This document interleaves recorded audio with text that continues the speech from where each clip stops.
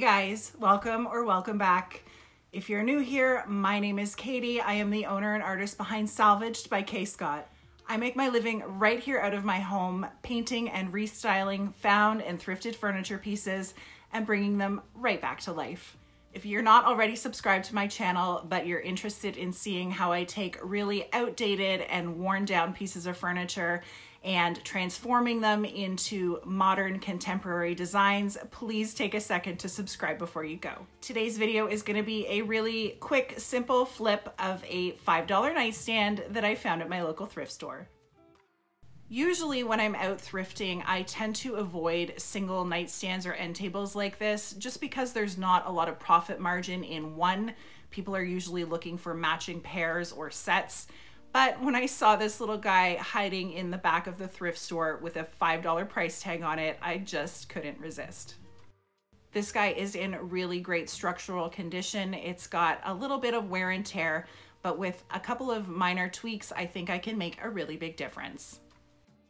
I'm gonna start by removing the hardware. And before I give this piece a really good scrub down like I usually do, I'm actually gonna take my flathead screwdriver and gently pry off these decorative moldings on the front of the drawers.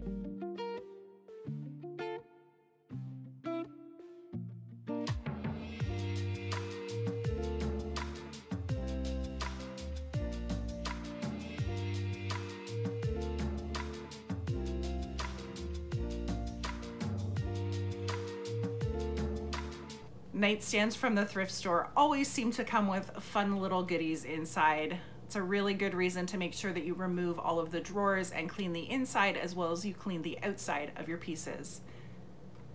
I'm gonna give this nightstand a really good scrub down with some hot water and TSP, which is a degreasing, deglossing cleaner. You wanna make sure that you use gloves when you're using this product as it is caustic and can harm your skin.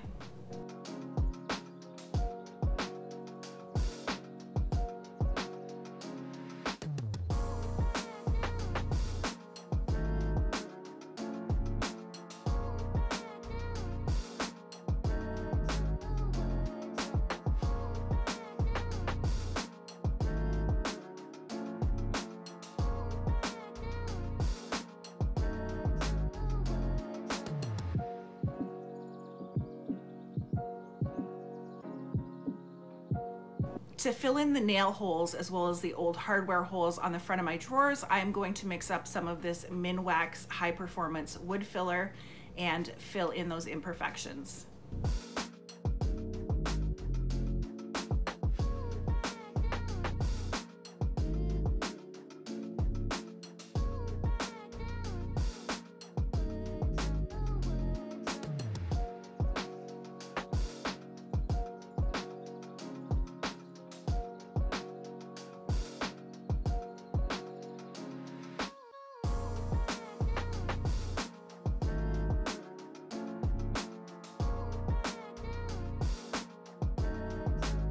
Once my filler was nice and dry, I came in with some 150 grit sandpaper to smooth it out, as well as scuff sand my entire piece and buff out any imperfections.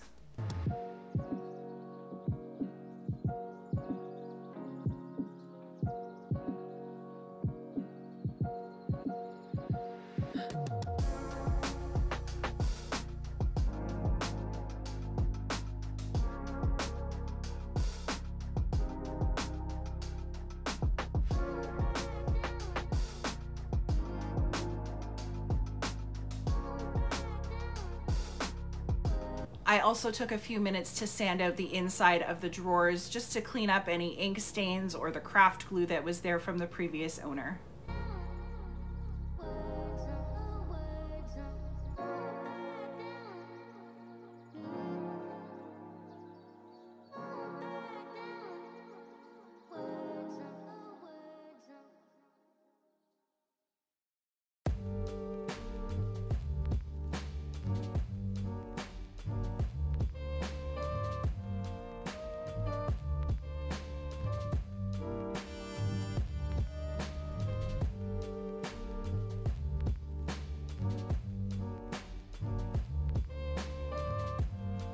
Once I was finished sanding everything smooth, I wiped the piece back with a damp cloth to remove all of my sanding dust.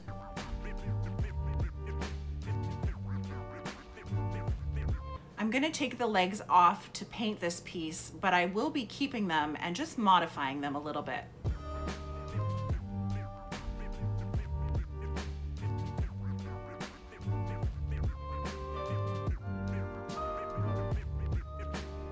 The next step for me is to prime with my favorite Zinsser Bin shellac based primer. This stuff is messy and hard to clean up, so I like to line my tray with aluminum foil and use a disposable roller. That way when I'm done, I don't have to clean anything up.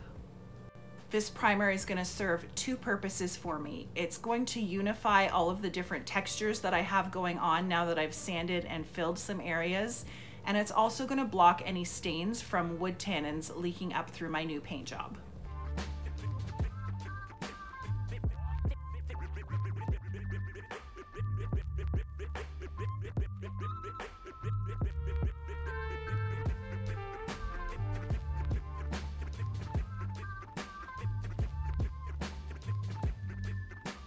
I like to let this primer dry really well overnight whenever time allows. And then I came back with some super fine sandpaper on my SurfPrep again and sanded back any texture that was left behind by the roller.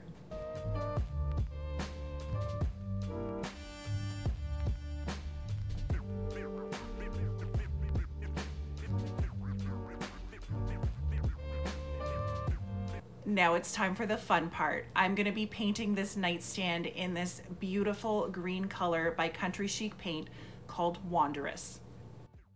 Country Chic Paint is a clay-based chalk style paint that is pretty thick.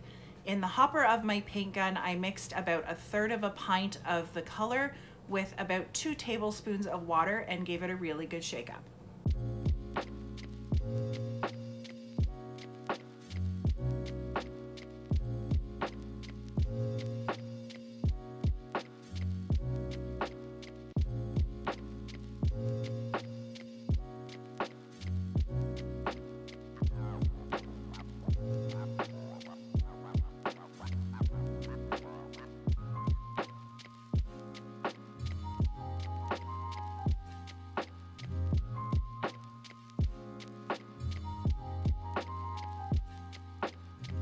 I only needed two thin coats of this color to get really awesome coverage. I let the paint dry for about two hours between coats and then another two hours before I top coated. That being said, dry times can vary drastically depending on the weather and the climate that you're painting in. And to protect my new paint job, I sealed everything up with two coats of Varathane Diamond Wood Finish in a satin sheen.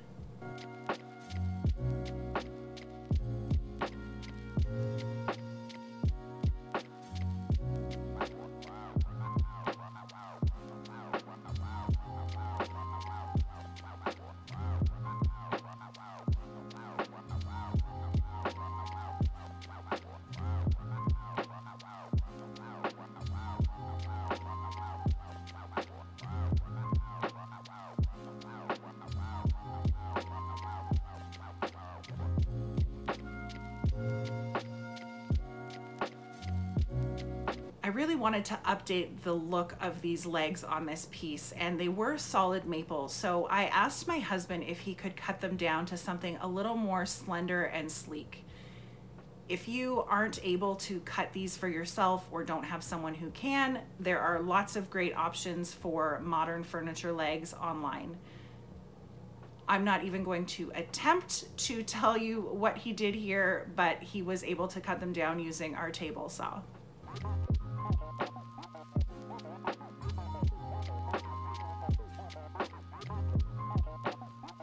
Once he got my legs cut down for me, I sanded them with some 150 grit sandpaper to expose that beautiful natural wood.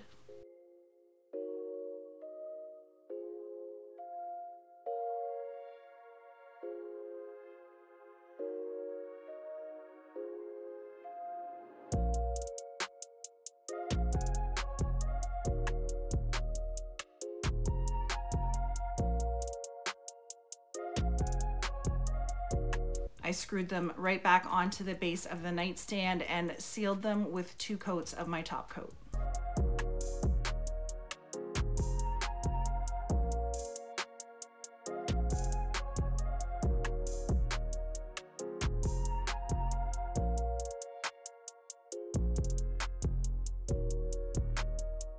And for the last finishing touch on this transformation, I ordered two new raw wood poles from homedepot.ca and installed them on the drawer fronts.